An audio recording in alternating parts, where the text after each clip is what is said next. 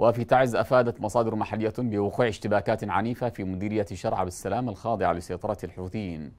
وأضافت المصادر أن خلافات بين متحوثين على جبايات السوق أدت إلى اشتعال اشتباكات مسلحة في سوق ربوع أو ربوع بني شعب خلف قتلى وعشرات الجرحى. وتتكرر في شرع بالسلام محافظة تعز الأعمال المسلحة التي تغذيها عصابة الحوثي بين أبناء المنطقة في ظل فوضى أمنية.